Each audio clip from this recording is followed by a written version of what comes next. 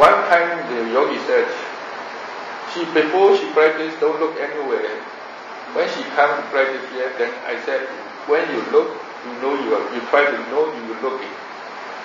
So she said, now I'm more freedom.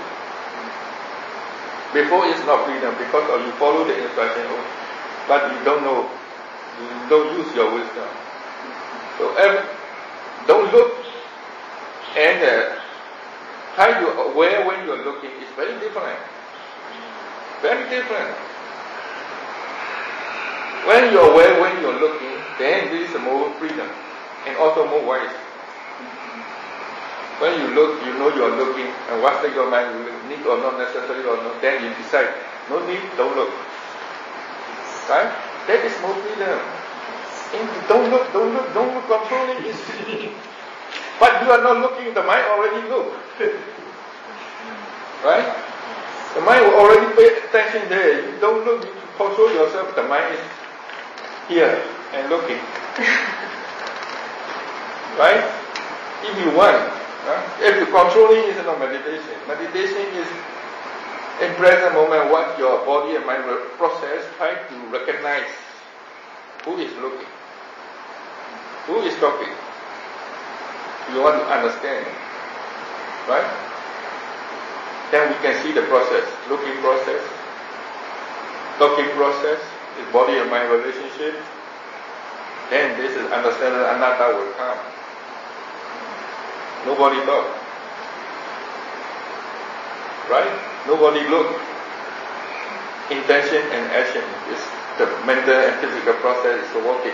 We try to recognize ourselves. Then we can more understand about this nature. That's why we practice seeing and hearing and more emphasize about seeing and looking. Because nobody practice seeing and looking. Every time we meditate, hmm. they open the eye, they don't know how to meditate. Many yogi, 10 years, 15 years, 20 years, they don't know how to meditate this object seeing and looking, they don't know how to practice. One time the yogi said, if you open the eye, I said, you can practice open the eye. The meditation is not eye work, the mind work. So she said, when I open the eye, my samadhi is gone. So I said, your samadhi cannot use, cannot apply. So if you have samadhi, open the eye also must be have samadhi. Close the eye also must be have samadhi. This is your samadhi good. Otherwise, your samadhi open the eye, your samadhi gone. Then you, your samadhi is very fragile. Cannot apply. Because very difficult to practice seeing and looking and talking. Why? Because never practice. never practice difficult. So practice, make the practice makes become more skillful. Right? Some people they I said seeing and looking, what difference? There's many people they don't know. Even they don't know how to aware the seeing also. Because they never practice.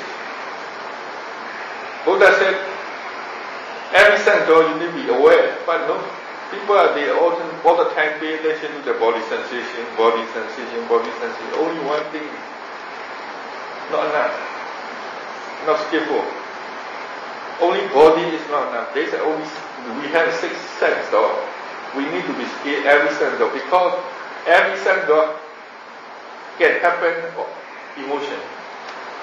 Right? Seeing also a lot of emotion come. When you look something when angry come, aversion come, attachment come, hearing also, right? Smell also. Nobody practice smell. In the toilet,